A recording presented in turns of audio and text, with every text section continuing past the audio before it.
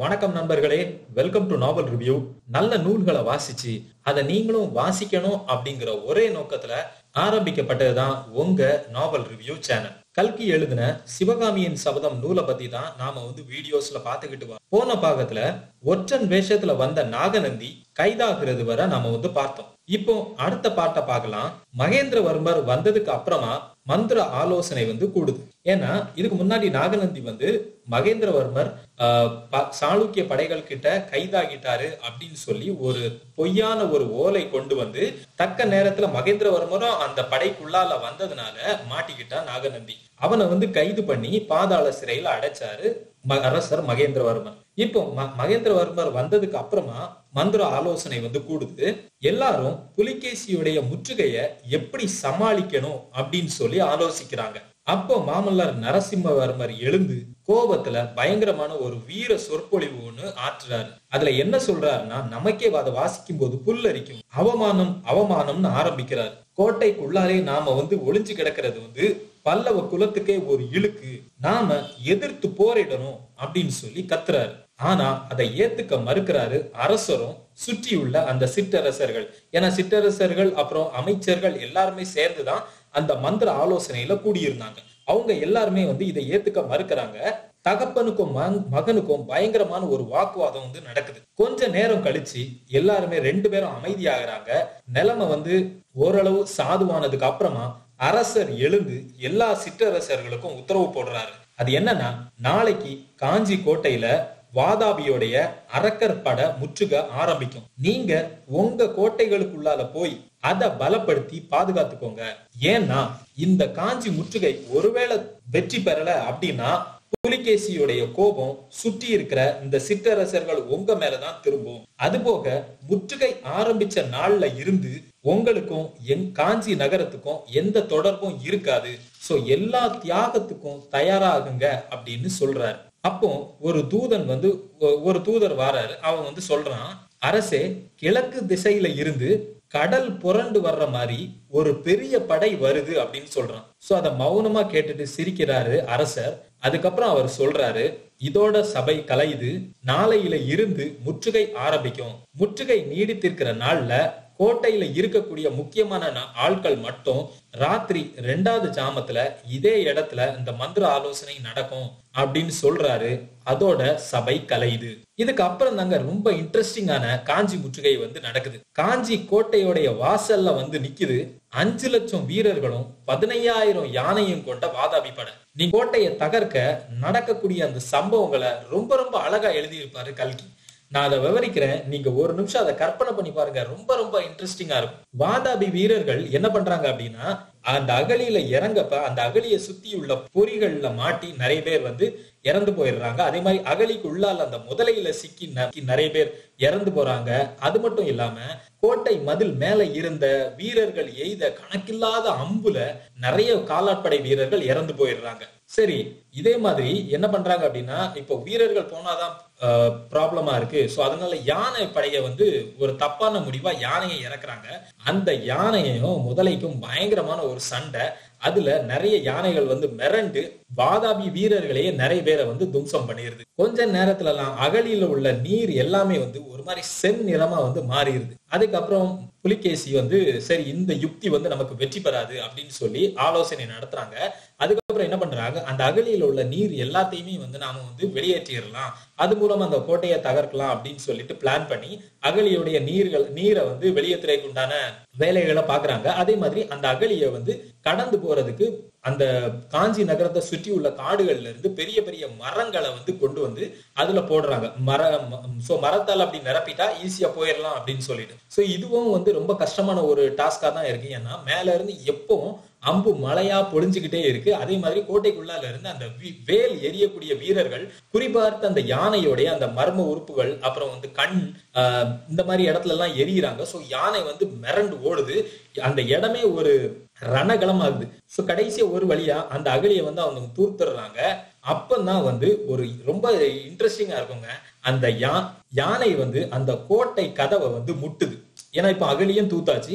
இப்போ யானைகள் அந்த அவங்களுடைய அந்த யானையுடைய ஃப்ரண்ட்ல அந்த கவசங்கள் எல்லாம் மாட்டி அந்த கோட்டையுடைய கதவுகளை வந்து முட்டும் போது அந்த வெளி கதவு வந்து தகர்ந்து போயிருது. அப்போ புலிகேசிக்கு எல்லாத்துக்குமே வந்து பயங்கரமான ஒரு சந்தோஷம். இந்த கோட்டை வந்து இப்போ கொஞ்ச நேரத்துல வீழ்ந்துரும் அப்படின்னு சொல்லிட்டு. அந்த வெளி கதவு தகர்ந்து பாருங்க உள்ளால இன்னொரு கதவு இருக்கு. ஆனா அந்த கதவுல என்னன்னா கூர்மையான வேல் வந்து அந்த கதவுல சொருகி இருக்கு. சோ இப்போ இந்த யானை நேர அதை போய் முட்டும் போது அந்த வேல் அந்த யானை மேல குத்தி நிறைய யானைகள் அந்த வீரர்களையே அஹ், திரும்பி ஓடி அவங்க வீரர்களையே நிறைய பேரை வந்து கொல்லுது. சரி ஒரு வழியா அந்த வேல் முனைகள் எல்லாத்தையுமே ஒடிச்சு மறுபடியும் அந்த அந்த அந்த கதவையும் வந்து தகர்க்கிறாங்க.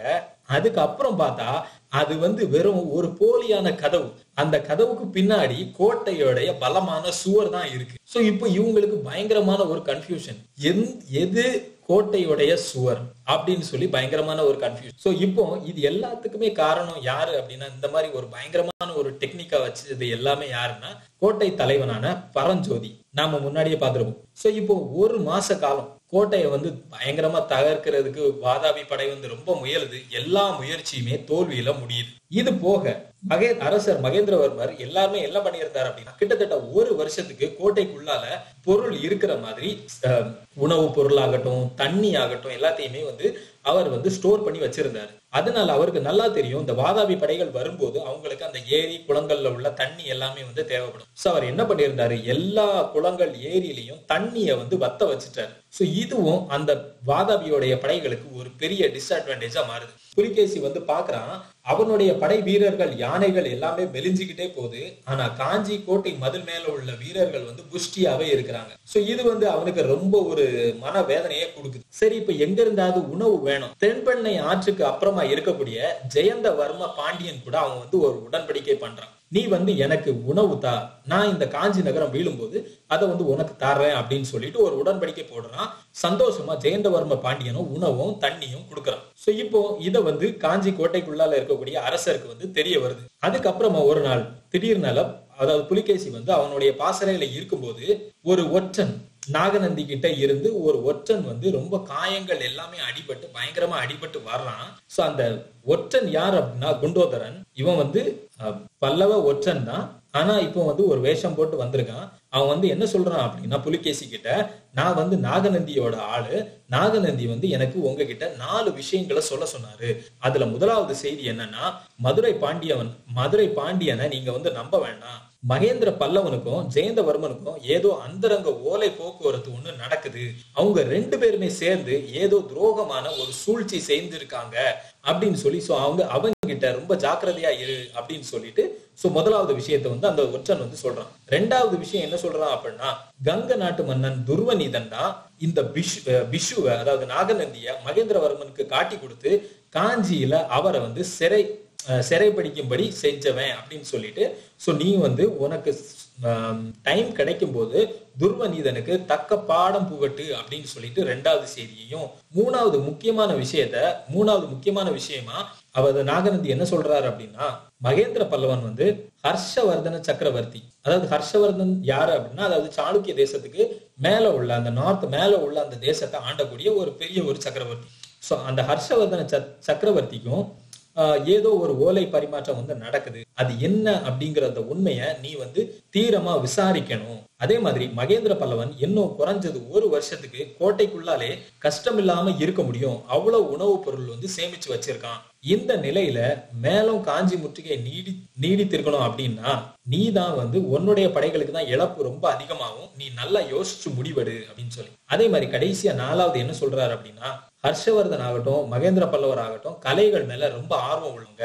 நம்ம வாதாபி படைகள் வந்து இங்க உள்ள சிற்பங்கள் எல்லாமே வந்து சேதப்படுத்தினா அது வந்து ஹர்ஷவர்தனுடைய கோபத்துக்கும் ஆளாகும். சோ தேவையில்லாம வீணான கோபங்கள் ராஜ்யங்களுக்குள்ளால தேவையில்லாம வீண் கோபங்கள் அப்புறம் போர்கள் எல்லாமே வரும். சோ நீ அதையும் ரொம்ப ஜாக்கிரதையா இரு அப்படின்னு சொல்லி இந்த நாலு விஷயங்களை இந்த நாகநந்தி சொல்ல சொன்னதா குண்டோதரன் வந்து சொல்றான். ஆக்சுவலா இது எல்லாத்தையுமே சொல்ல சொன்னது வந்து அரசர் மகேந்திரவர்மர் தான். சோ இப்போ இவன் புலிகேசி வந்து உண்மையாவே நம்பிடுறான். நாகநந்தி நாகநந்தியோடைய ஒற்றன் தான் இந்த குண்டோதரன் அப்படின்னு சொல்லிட்டு. சோ அதுக்கப்புறம் அவன் அவன்கிட்ட இருந்து எதுன்னு அது எல்லாத்துக்குமே வந்து பொறுமையா பதில் சொல்றான் குண்டோதரன். சோ அவர் வந்து இப்போ சிறையில இருக்காரு அப்படிங்கறது எல்லாத்தையும் கேள்விப்பட்ட உடனே ஏன்னா அவனுடைய இரட்டை பிள்ளை இரட்டை பிள்ளையில ஒருத்தன் தான் அந்த நாகநந்தி. சோ அதெல்லாம் கேட்ட உடனே அவனுக்கு ரொம்ப ஒரு வருத்தம் ஆகுது.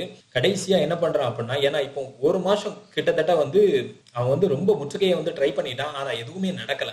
கடைசியா வந்து எல்லார்கிட்டையும் வந்து சொல்றான். என்னும் பத்து நாள்ல நீ வந்து நேரா பிஷு கிட்ட போய் சொல்லு. அதாவது பிஷுன்னா அந்த நாகநந்தி. நாகநந்தி கிட்ட போய் சொல்லு. பத்து நாள்ல நான் உங்களை சந்திக்கிறேன் அப்படின்னு சொல்லி. சுத்தி இருக்கவங்க எல்லாருக்குமே பயங்கரமான ஷாக் ஏன்னா ஒரு மாசமா கோட்டையை தகர்க்கணும்னு சொல்லி போராடி ஆனா எதுவுமே நடக்கல. எப்படி ஒரே மாசத்துல இவர் போய் அவரை சந்திப்பாரு அப்படின்னு சொல்லிட்டு எல்லாருமே பயங்கர ஷாக்கா இருக்கு. சரியா அதே மாதிரி ஒரு வாரத்துல அந்த காஞ்சி கோட்டை மதில் மேல நின்னாங்கல்ல அந்த வீரர்கள் அவங்களுக்கு பயங்கரமான ஒரு ஷாக்கான ஒரு சம்பவம் நடக்குது. அது என்னன்னா வராக கொடி வராக கொடினா அந்த புலிகேசியுடைய கொடி. அந்த கொடி பிடிச்ச தூதர்கள் ரெண்டு பேரு குதிரை மேல ஒரு நிராயுத மணியா வராங்க.